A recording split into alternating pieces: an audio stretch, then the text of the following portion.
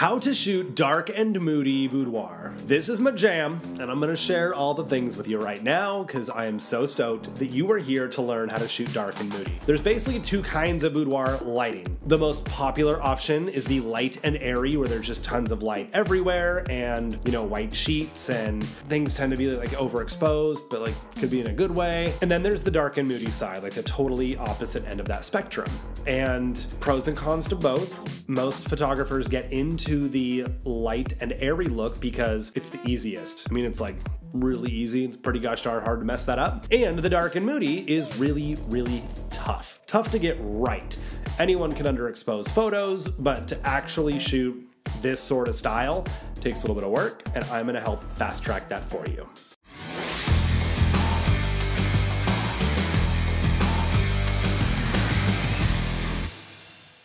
So, who the heck am I? My name is Mike Lloyd, and I am a professional boudoir photographer. I've been doing it since 2015, shooting professionally since 2010, and this is the only way that I shoot boudoir. I love doing the dark and moody look. I did my very first shoot like this because the shoot was in an empty white room. Well, there was a bed. I'm I'm like motioning to my bed as if that, you know, the bed in my studio as if that was the bed. It was not the bed. The bed in the room was the only thing in the room. White walls all around and a hardwood floor. So I'm like, what the F am I going to do in a giant basically empty white room. I don't know. It was my very first one. I don't even know what I was doing, but it was like a friend had asked me to do the thing. So here I was. I'm like, well, I got a softbox and I can put this grid on it and just light her. And then you won't even see that there's an empty room behind her if I expose for that. And so that's what I did. And that became my signature style. And it's cool because I love it. And because it's so challenging for most photographers to pick up, um, but not you because you're learning the right way in the right place the first time. So few people do it. And it's one of my competitive advantages. It also was, you know, like what got me into teaching because everyone wanted to know what I do. And aside from the business, like my lighting style, my posing is pretty unique. So uh, that's what got me speaking at conferences and, you know, the podcast and judging print competitions and doing all these things. So I'm grateful that that's what I enjoy and that other people enjoy it also. I also enjoy this mint tea. This episode is not brought to you by Tazo, although, again, if they wanted to sponsor me, that would be wonderful. Allergies have been kicking my butt, so my voice sounds all raspy today, but I'm doing my best, so bear with me also. Okay, so when it comes to shooting dark and moody, there's a handful of things you need to know. Uh, I'm gonna give you four tips. Well, I'm going to give you three, but I'm going to let you in on a secret. There's a surprise bonus fourth one if you wait till the end, and that is going to speed up everything you do like 3000%. So don't check out early. Okay, number one, I'm going to tell you what equipment you need. Number two, I'm going to tell you where to put the equipment. Number three, I'm going to tell you how that affects your posing. And then number four, you get to wait for. So, number one, what equipment do you actually need? You need lights because you're not going to do this with natural light. The only way you can do it with natural light is if you had uh, a room in the dark at nighttime and there was a moon outside with moonlight coming in through that window. So if you can't replicate that, probably don't plan for natural light. So you're like Flash, okay, cool. Um, I can I can manage that. I can learn Flash, but what modifiers do you need? Well, you need these guys. They're called grids. This is a honeycomb grid because if you look closely, which I don't think you can from there, all the little holes are honeycomb. They're hexagonal. There's no actual honey, no bees were harmed in the making of this video. But what this does is it takes the spread of light from do this without dropping my strobe. 55 degrees which is this eight and a quarter or eight and a half inch reflector and it narrows it down into a 10 degree circle. So there's a 10 degree angle coming out from the edges of the dish and it, it only spills 10 degrees outside all the way around in this cone. It's almost like a spotlight basically. Uh, you could also use a snoot which is just going to be a little circle size beam of light that shoots out of your strobe but I mean, unless you know you're doing really creative stuff where you like want to put a circle of light on one eye and have the rest black. Not a lot you can do with the snoot in boudoir but this little guy is great. I use them for rim lights for hair lights for background lights because i can aim one at the wall directly behind me. I don't know if you'll be able to see it if i actually turn on the modeling lamp. Let's try. Yeah you can see that so I could put this on the light direct or on the wall directly behind me, and now I have just a bright spot on the background that will create separation from my head to the background. You're like, I can already tell where your head stops and where the background stops. Yeah, because there's tons of light in here. But imagine your client has brown hair, because most of your clients probably don't have my haircut, and you're shooting in a dark background and with no lights on, brown or black hair totally going to disappear into the darkness. So this will allow me to put light on my head or on a body part without lighting the whole rest of the scene. Uh, then I have another honeycomb grid that's 30 degrees. So it's this, but it lights a little bit farther. So it's basically from there, and then it, you know, the closer you get to things, obviously, the tighter your circle will be. The farther away you get, uh, the larger the circle of light will be. And that's because it comes out in a cone shape, right? And at the end of a cone, there's a little point, and then the other end of the cone, it goes on forever. And the farther away you get, the larger the cone opening is. That's how these lights work. So you can control that circle of light by moving your light closer and farther away. Bonus tip number four is going to tell you how to do that effectively. All right, so grids are gonna be your best friend here. I'm just trying to turn this guy off.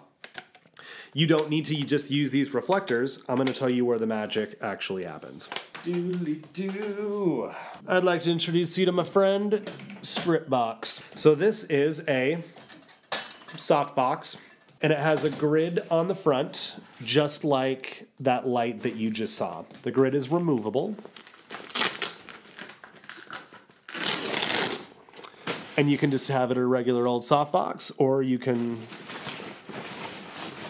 put the grid in there and control your spill of light. So what's great about these, it gives you a rectangular shaped beam of light, which happens to be about the size of a person, uh, where you can just light the parts of them you want. And what's cool, this will light the part of the person you want nothing else in the room. That's how we get dark and moody. So when I expose my camera settings or expose my my image for the room, I'm going to I always shoot at f1.8, but I get my ISO as low as it'll go and my shutter speed, I don't know, I try to keep it around 200 because I want to reduce the ambient light as much as possible. I want the room to basically be totally black and the only light that exposes in my image comes from my flashes. So that's how we get dark and moody. I've done shoots like this in the middle of a field in daytime. Here is the scene, and here is the photo. The only difference is that one was taken on my cell phone, so you could see the scene where it was exposed for the daylight, and the other one, I ridiculously underexposed it so it looked like nighttime. But it's the same setup. You can see the same brick wall, uh, same person there. That is the same scene. So you can do this literally anywhere, and that's the magic of it. So for the first couple years, this is what I used to as my main light on my subjects, and I'll tell you in a second where I put it. But it's very narrow, and while yes, it allowed me to just like carve out curves and, and shapes, and my clients loved all of that, it didn't give me quite the flexibility I wanted. I needed more coverage with the light. So I recently switched to another softbox that is like 30 by 45 inches. So about the same height, but it's, you know, two to three times as wide.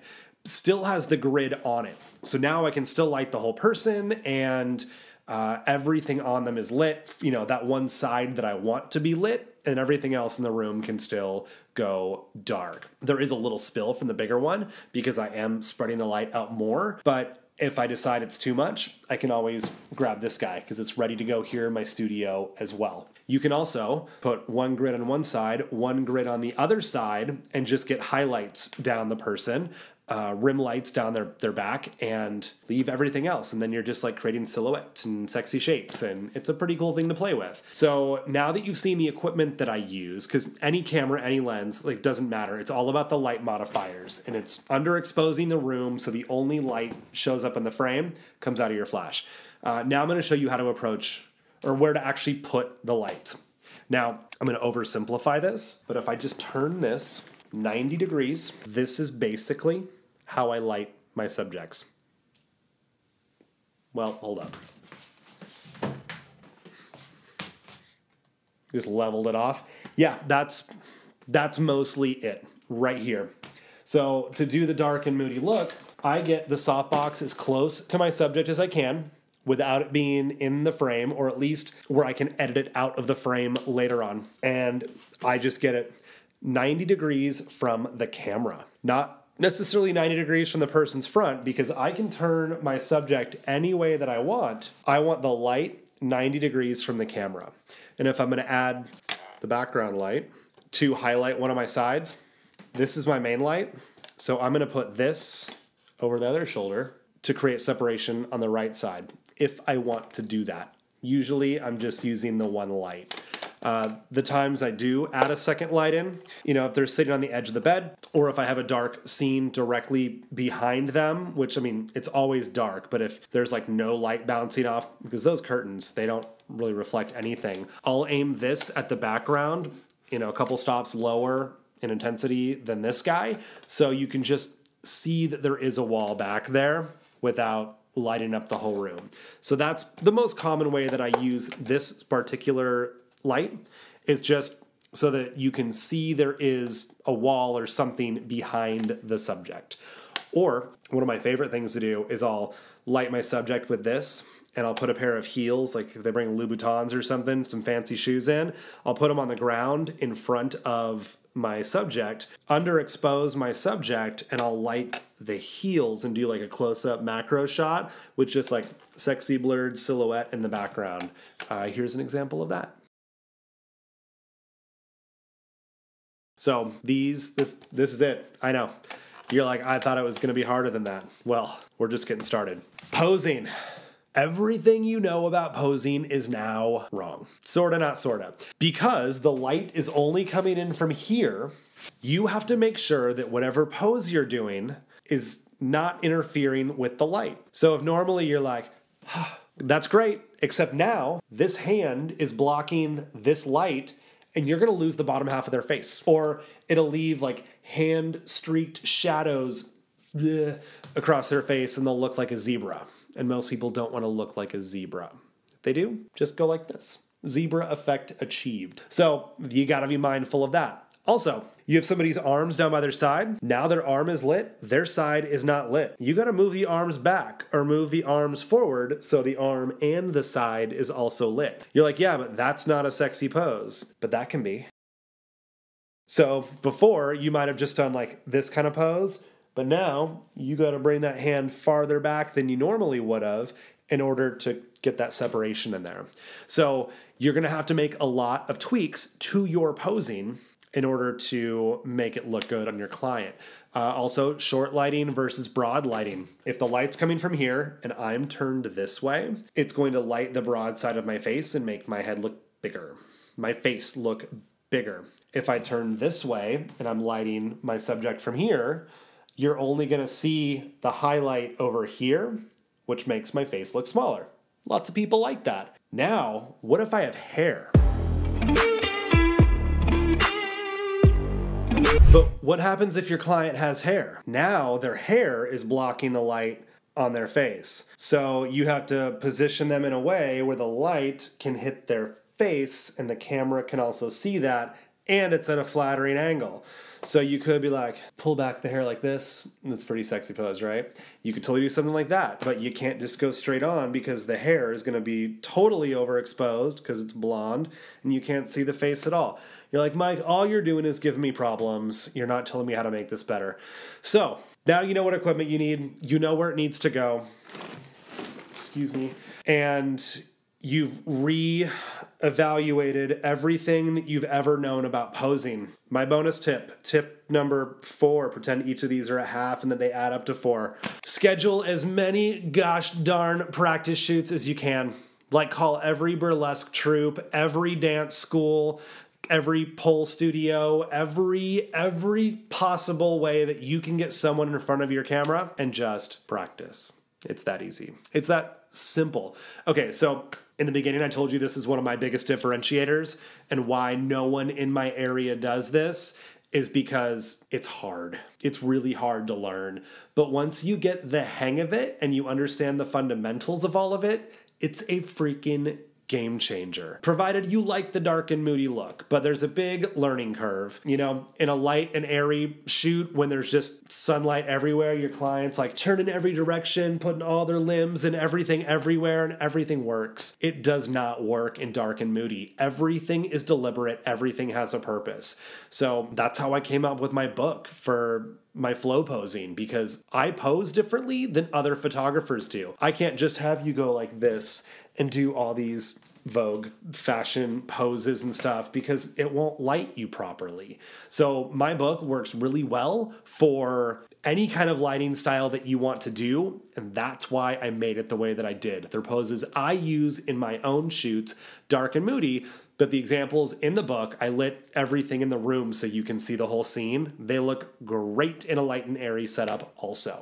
So if you want to pick up a copy of that, I got a link down below. It's on the Boudoir Guild website. Uh, it is my own posing book. And again, it's going to be different from any other book you've got because it will work with any lighting style. So something to keep in mind. Also, I walk you through step by step exactly how to do all those poses. I got another killer video on this channel. I'll link to that down below. 10 boudoir poses to help get you started. And you can watch me and Amy, the model in the book, actually go through. We just like rando picked pages, like, cool, let's do this pose. And I read the description from the book. She does the thing and I show you how I shoot it and it's pretty it's pretty great if I don't say so myself. So there you go. Uh, again, if you want to know more about lighting, posing, about all this stuff, I walk you step by step through all of it at theboudoirguild.com. And I got other killer videos on this channel. So be sure to subscribe as well. You know, that might be one more bonus tip. I hear it gets easier learning this lighting setup if you're subscribed to my channel. So click the button down below and instantly get better at lighting. Instantly get better in lighting. I don't want to make any promises here, but I heard a rumor that it's true. So there you go. If you have any questions, let me know down in the comments. You are amazing. See you inside.